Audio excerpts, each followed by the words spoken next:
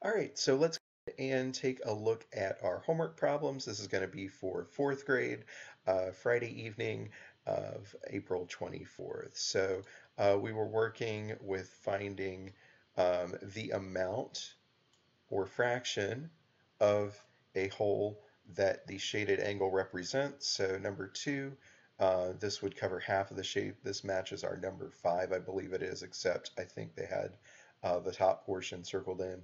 Um, so that would be one half of the shape being filled in. Um, we're going to follow the arrow. We're going against the direction of a clock, and we are going one half turn counterclockwise. Uh, this one, number six, we are going a full rotation counterclockwise. Um, I explained this as uh, part of this. So Give a description uh, for number eight of a three-quarter turn of the minute hand on the clock face.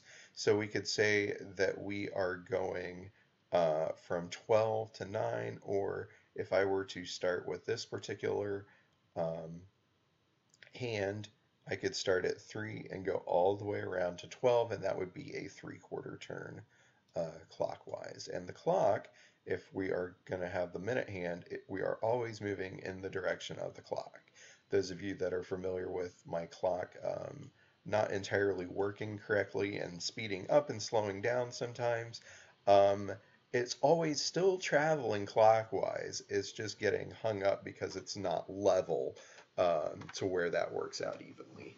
So uh, number one, on the back, we have a one quarter turn. Um, and that's all they're asking for. We're not asking if we're going this direction or this direction. Uh, number two, describe the turn. So we were going a half turn and we are going clockwise. So those are the problems for the homework uh, for today. Hope that makes sense for you. Uh, if you have any questions, please feel free to ask in Google Classroom. I'll be available all weekend um, to answer questions. Uh, one of the things I forgot to do um, that I meant to do is our schedule is going to look a little bit different next week. My understanding is that uh, you guys will have, I believe it's four lessons next week. Um, I'm looking at my calendar right now. Yes. So you guys have four lessons next week, which means the office hours that you'll check in with me on will be on Wednesday.